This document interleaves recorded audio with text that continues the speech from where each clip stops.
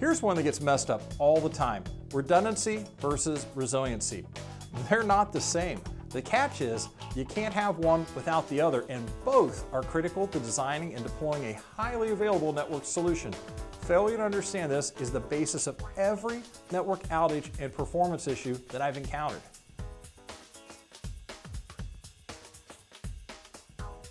Hi, I'm Jim Schrader, and today we're talking about redundancy versus resiliency from a physical design perspective. So let's dig a little deeper into these two terms. Redundancy, what is it? It's two of something, two chassis, two modules, two links. It means you have a backup to take over for the primary system if it fails. Resiliency defines the ability to recover, converge, or self-heal and restore normal operations when a redundant system fails. So in order to have resiliency, we must have redundancy. Let's use a simple example to show what this looks like in the real world. Take a look at this diagram. We have redundant fiber optic connections between the two buildings, so we have a redundant solution. But is this a resilient solution? No, we actually have two single points of failure that would defeat this redundant solution. The demarcation points labeled D and the underground pipe are each single points of failure. It's funny, we call trenchers and backhoes fiber optic cable finders because they seem to be extremely effective at finding fiber optic conduits buried in the ground and cutting them in half. So much for our redundant fiber optic cables.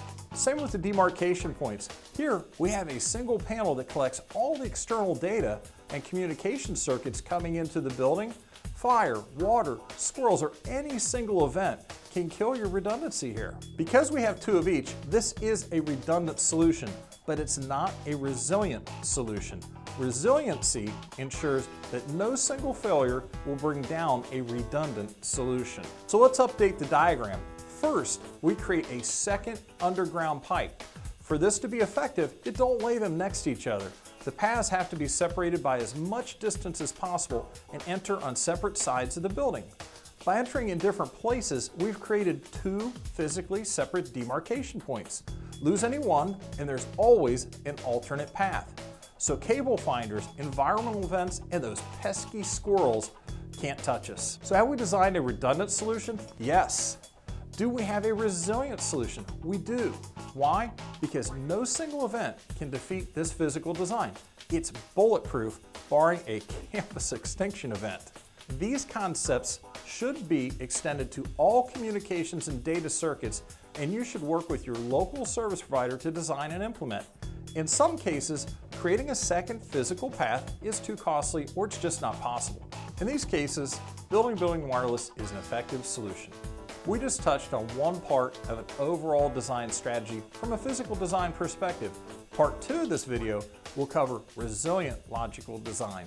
Also, to get the big picture, make sure to check out our Campus Design Guide. You can find links to the Campus Design Guide and the follow-up to this video in the info card in the top right-hand corner of your screen. And if you found this content useful, we certainly hope you did, please subscribe to our YouTube channel and thanks for watching.